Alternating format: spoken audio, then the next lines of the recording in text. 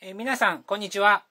えー、今日も、えー、YouTube チャンネル、松本大芦屋をご覧いただきありがとうございます。今日は、え地元、え兵庫県にありました、えお城についてご紹介したいと思います。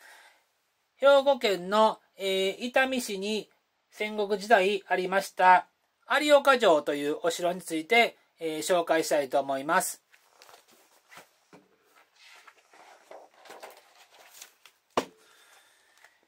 えー、兵庫県には、えー、日本の、えー、城郭史を代表する、え名城が多く存在します。え一例を挙げますと、え世界遺産に、え登録されております、え有名な姫路城、また、え雲海が、え美しい朝来市にあります、え武田城、また、え石垣が良好な状態で、えー、残っております伊豆市場などが、えー、挙げられます。えー、が、え現在、え遺構が、え街中に、え埋もれてしまってるんですが、えこれらのお城に、え匹敵するほど、え日本の城郭の発展に、え大きく、え貢献したと言われるお城がありました。えー、兵庫県南東部に位置し、えー、大阪府の池田市、えー、豊中市とも、え隣接する、え人口約19万の都市、え伊丹市に、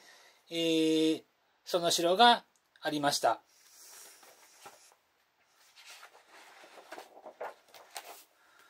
その、えお城の名前は、え有岡城というふうに言います。えー、南北朝時代に、えー、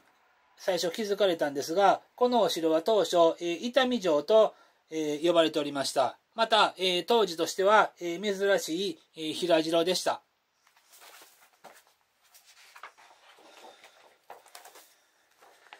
はい、えー、こちらの、こちらが、えー、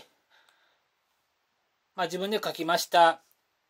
伊丹市とその周辺の地図です。では、えー、有岡城がありました、えー、伊丹市なんですが、その、えー、伊丹市の、えー、歴史について、えー、次の動画で、えー、